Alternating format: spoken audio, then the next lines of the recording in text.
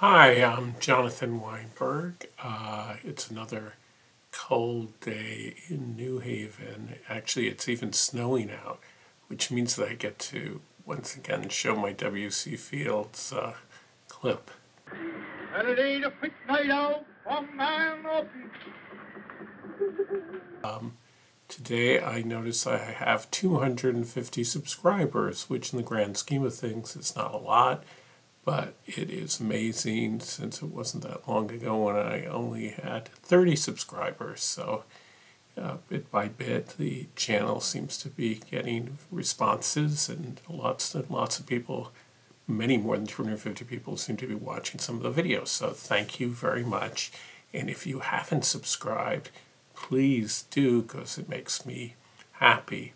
So the other thing that makes me happy is getting um, more fountain pens. And a few weeks ago, um, I came home and on my doorstep was a box of vintage fountain pens from a very old friend who's just wonderful. And I, I'm telling all these people that I am into fountain pens, and a lot of times people say, "Oh, I've got some old fountain pens. I should send them to you." But they never do. But this person actually did, and they're they're wonderful. Um, she had had them in her house. She's moving. It's going through with stuff, and a, a long time ago she had been collecting, sort of collecting them, and also some of them she had actually um, used them, and all the way going back to um, high school. So she um, uh, sent them off to me and they were in various different states. And I have become friends with Nathaniel Cerf, who is uh, runs a business called PenMarket.com. I'll put um, a link to that uh, in the comments and on the screen. And um, uh, Nathaniel has done an incredible job of restoring the pens and making sure that they write. So it's shout out, shout out to him. Um, my friend, I'll, I'll, I'll, keep her name private, uh, but she is just a fantastic person. And I thank her very, very much.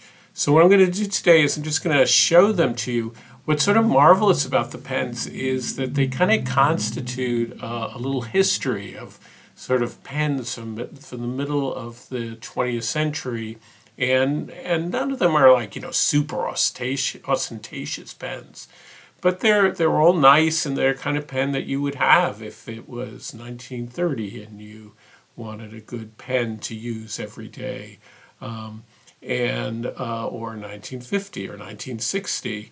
And I, I do have a small collection of vintage pens, but this really sort of gave, sort of filled out the history. And so I'm going to go through them, talk talk a little about about each one. Um, I'm not going to do any drawings today or anything, but you know, just talk a little bit about their filling system and their and their qualities and everything. I'm sort of so happy, excited about to have them that I thought I'd share them um, with you. Okay, um, what I'm going to do is show you these pens under the other camera here um, and focus on, uh, I hope this is in focus, and sort of work through them by pen companies. This is, I think actually this is the earliest pen in the in the group. It is the Wahl Eversharp Deco Band pen. Um, the Deco band is this element here, which has actually kind of what they called a Doric uh, pop, uh, uh, pattern that you know kind of Greek pattern that they had on a lot of their pens. I love the clip and the little roller here that is supposed to protect your uh, pocket so it doesn't tear when you clip it on. Um, I love this little element here. Um, It has a 14K nib. Let's see if we can make it focus. There we go. And see how nice that is, I think. Um, where it says Eversharp. Now, Wahl was originally a company that made Addy machines, and then they bought Eversharp, which was a pencil company. And for a while, the two companies, even though they were owned by the same company, so if you bought a pen, it had Wahl on it, and then if you bought a pencil, it said Eversharp, and then they combined the two names. Eventually, the company went out of business in terms of making pens. I think they still make razors. Wahl makes makes razors, and then they company's been, um, I think it has come back, you know, where, but it's it's not the same company that went out of business in the fifties, of course. Um, uh, anyway, it's it's just a really beautiful um, pen, and it's from the nineteen twenties, um, and it, it writes very nicely. Um, I'll show you a very brief um, uh, writing sample. Um, but it has a very, very nice writing. It feels beautiful in the hands. I love this is an early plastic model, um, but I just love the way it feels. This is, I mean, I just, I'm not going on and on, but it is just a gorgeous pen. So it's sort of now one of my favorite pens in my in my collection. Now, undoubtedly, when like if they were doing this model pen at um, Wahl Eversharp, they were thinking about the Parker Duofold, which was just an enormously popular pen. And I think they still, I believe they still make um, Parker Duofold pens. The, the, um, so they've been making it for 100, 100 years. Um, this is a Duofold Junior. So this would be a pen that probably dates from maybe 1930 or so, um, and it's smaller, obviously smaller than the um, uh, Eversharp. It's a really nice 14 karat gold nib. It's just very elegant. The Duofold comes in just so many different colors and sizes. There's a, a, a much bigger size than this. This is a little under five inches. Um, you can see Let's just see, get a size comparison. Let's, um, so this is a Metropolitan, you know, contemporary pen. You can sort of see how that, what that looks like. Um, and let's see, here is a Conklin Durograph, which is a contemporary pen. You can see how that is taking off from this style um, pen anyway, very, very nice. Um, it, it has a finer line. It's a little scratchy. We'll, we'll uh, give you a pen sample, I mean, a, a writing sample of it.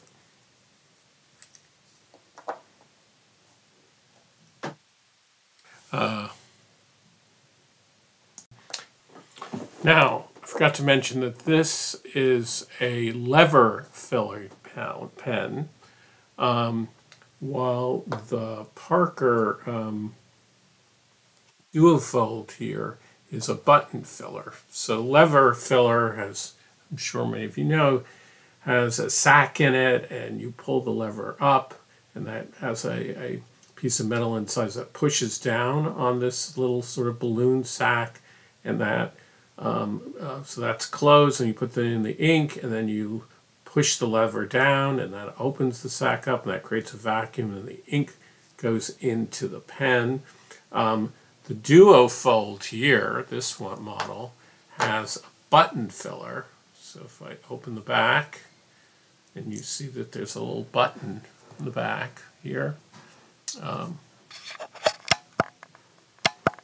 and you push on the button, you push it down, and then you put that in the ink, and then the ink that creates a vacuum, the ink goes into the pen, and that was uh, something that was patented by Parker and was a very popular way to um, fill a pen. Now that leads us to another um, Parker pen in this little collection. Um, this is the Vacumatic pen. I love this one in plastic. It's kind of wonderful plastic with these rings and it's a little bit bigger than I think it's a little bigger. Yes, it is bigger than the uh, duofold. Um, duofold is very, in this model, it's very simple, the top and the bottom, right? Has the ball, still has the ball clip, while this model, which is probably, this is the standard pen, this is probably around 1933. Um, and uh, the founder of Parker, of course, is George S. Parker, and he founded the company in the late 19th century. But in the 1930s, they were very proud in their ads to say that a professor, I guess this is, he was a professor, Joseph Platt, was the one who designed this uh, system, the vacumatic system um, for um, the pen. And um, also has like a button, the back, and you go, let's see if I can get it open, and then you push down on this, and then again, as you let it go, the ink fills into the pen. And this works really, really well. Um, and I think what's great about these pens too is that once you close them, it's safe. You know, you can't push the button, and so they post really, really well. It's something that I forgot to mention. That's an advantage too of the lever fillers. So you can post them. You don't have to worry about spilling ink everywhere. Um, and this also has a 14 karat um, nib in it. Um, I love this sort of translucent um, plastic with these rings around it. This was, I don't know if this, my friend, this was a relative um, or whether, um, she said that she was, for a while, was collecting pens and it has the name of a doctor. It was a doctor's pen. Um, uh, I really like, I know that uh, for some people, having somebody's name on the pen takes the value of the pen away, but I actually think that makes it better. I love the idea that somebody else was writing with this pen, that you know prescriptions were being written, or poems, or or is being used in a journal, and now it's being used again. I, I just love that idea. It's like it has a the, the pen has a soul to it, a history. Um, so, uh, and I have a feeling too that eventually having a name on the pen, you know, as hundreds and hundreds of years go by, that will actually make the pens more valuable rather than less. Uh, I just um, cleaned this so it's dripping a little bit of water. Um,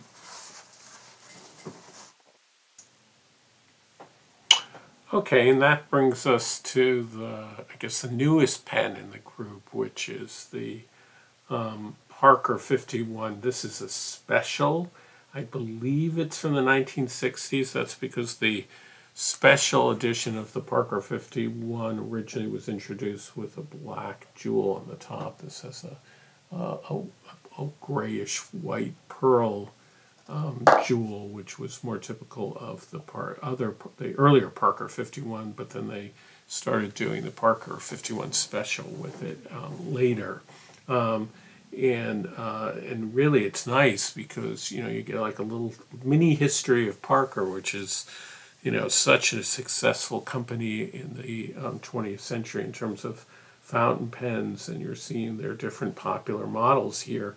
The Parker 51 is known really as the most popular fountain pen in the world. It's sort of probably the most imitated pen, enormously um, uh, successful, um, uh, introduced into in the 40s, um, and um, the 51 was um, uh, special was added um, in 1950 it's a somewhat initially less expensive version um, of the Parker 51 there are so many different versions and colors that they um, uh, come in.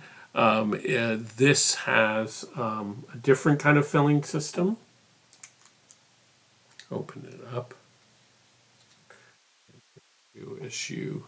Um, this is still a system that is, is used today. Um, pilots sometimes use it. You press on the sort of sac uh, here, and um, uh, it then creates a vacuum, and then the ink comes into it. It's the um, I believe they call that the aromatic, it's called the aromatic filling system versus the vacumatic um, uh, filling system. All these um, pen companies were trying to be as contemporary as modern, and um, the matic part makes it sound more modern and robotic, I guess. Um, uh, it's interesting today that makes it sound old fashioned and nostalgic, but back then that would have been uh, more um, cutting edge. Um, this is just, you know, a classic design. Um, reminds one of a rocket ship or a missile, and supposedly was uh, tremendously influenced by airplane designs. The initial, the initial uh, pen for this, you can see. Well, I don't know if you can see, but it actually says um, uh, Parker Special on the filling system, and actually even tells you how to how to use it. Um, and uh, another difference between the special was that where the Parker 51 would be in gold, would be a gold nib. This was an octanium, so-called octanium nib, which is a kind of eight different kinds of uh, an alloy nib. Um, but actually, uh, the models that have the white pearl on them may be, I'm not sure about this, might be, it might be a gold nib, it might be a steel nib. Um, so some of the later versions of the special actually had had gold gold nibs. So I think, in any case, I think this pen is from the 1960s. Um,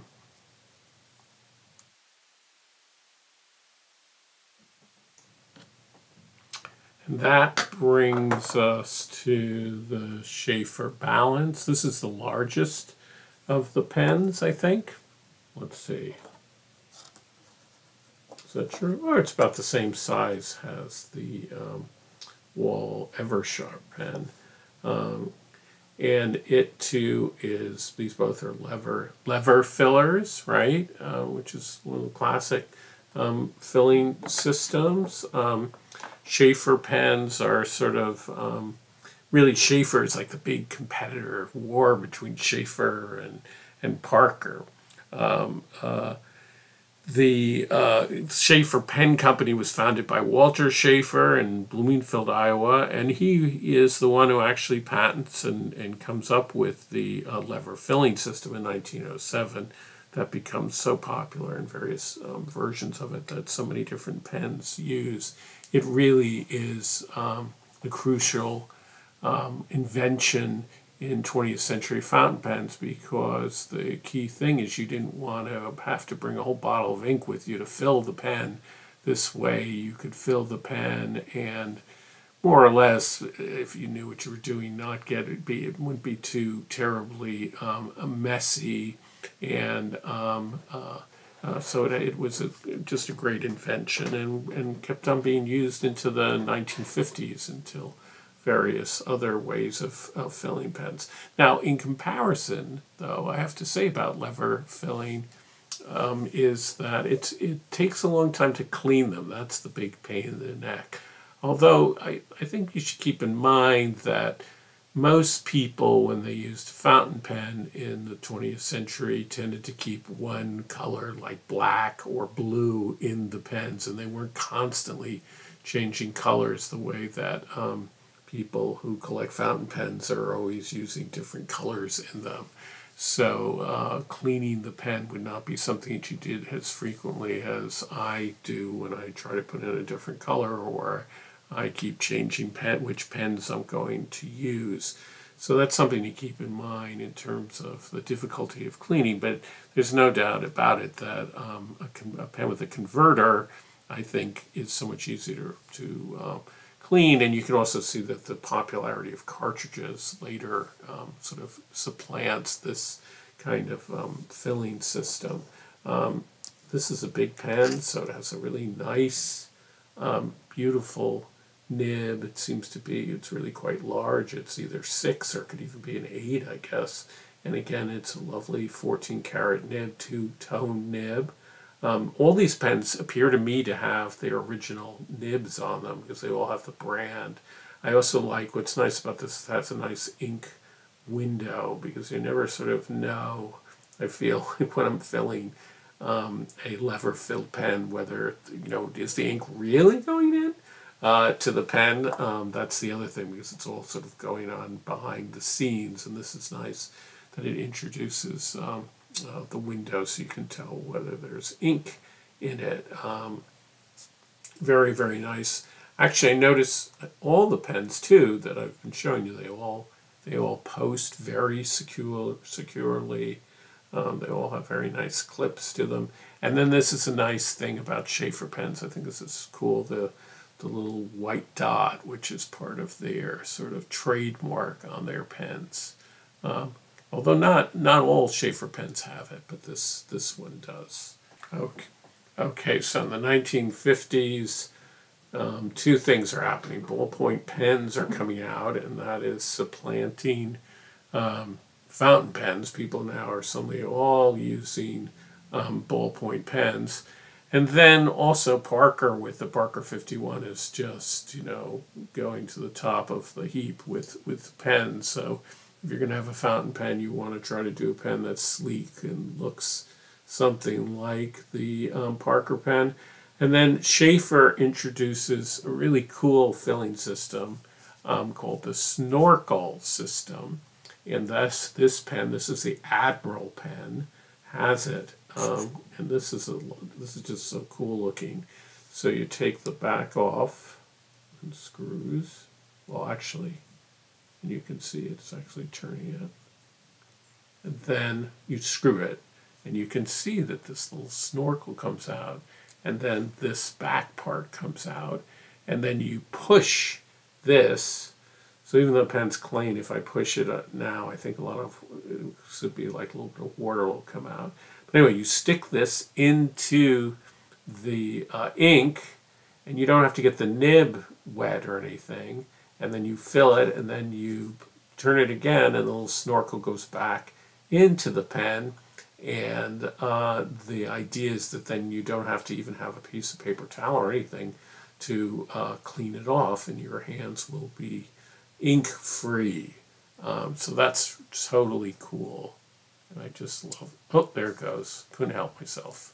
So then, and then you turn it and it goes in again. Let me just do that. Uh, uh, uh, and there it comes out again. It's just fabulous. So in the world of fountain pens, this is about as exciting as you get as this little snorkel invention. So this came out in the 1950, early 50s and uh, I guess was sort of popular. And, and the cool thing is that there's a television commercial that Ethel, I'm a huge fan of I Love Lucy, and Ethel of I Love Lucy, um, Ethel Mertz does a commercial for Sheaffer, which I will show you a little bit of. Oh, Lucy, I just got Fred's Christmas present. A Sheaffer snorkel pen. You know, the one you fill without getting in the ink. Hmm? No, I mean the pen doesn't get in the ink. Only the little tube does. That's why they call it a snorkel pen. You just twist the little knob and a special filling tube comes out and it drinks up the ink. Okay, now last but definitely not least, is the Esterbrook SJ, which is a pen that I have um, used. Well, actually, I've shown you the Esterbrook J. Um, it's a lovely little red version. Um, it actually has the name of my friend on it, which I really love to have um, a pen by her that has her name on it so I can well remember her and remember her wonderful gift. Um, and um, what's great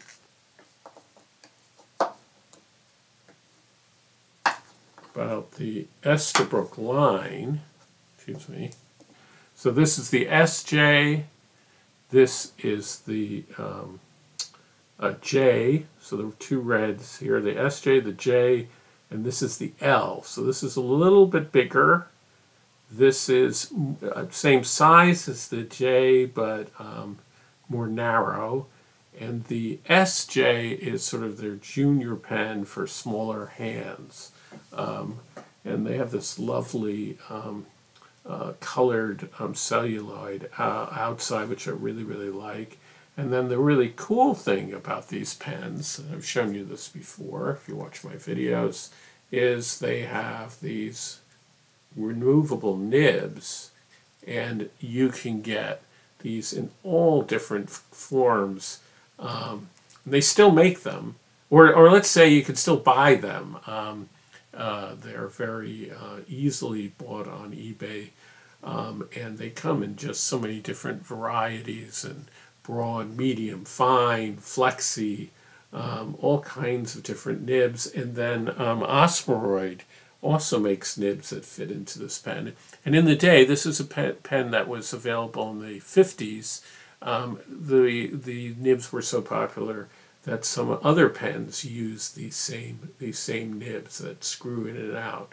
So that's a really cool thing about them. And this is such a successful pen that you can still buy these um, uh, on, on eBay for very little money. It's really a great place to start if you want to start collecting vintage pens.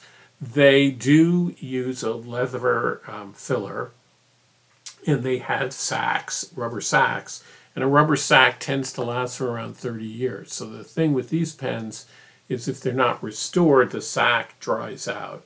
But it's fairly easy to um, replace the sack. So it's a great way to start if you want to uh, learn how to restore vintage pens. This is a good pen to begin with because it's not really that complicated to replace the sacks.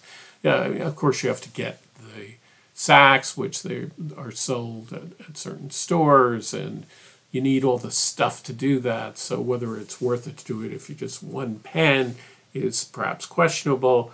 But um, because it's fairly easy to do, it's fairly these are fairly inexpensive to buy um, uh, at uh, eBay. You know, you can get them as I've got ones as inexpensive as um, thirty dollars, and they come in all these different wonderful colors. So I am just a, a big fan of these particular pens, and you, as you know, you because I've already talked about them in other other videos. So it's nice to have. I didn't have a little SJ one, so it helps complete my collection of uh, Esterbrook pens. So that's really terrific. So here, here again are, are all the pens together uh, dancing with happiness because I hope they found a good home. And uh, thanks, thanks again to um, Nathaniel Cerf for his work restoring the pens. He sells pens on his website. You can send pens to him and he will fix them.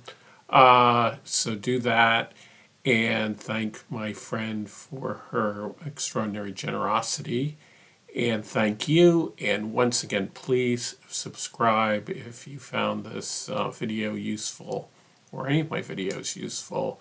Uh, see you soon.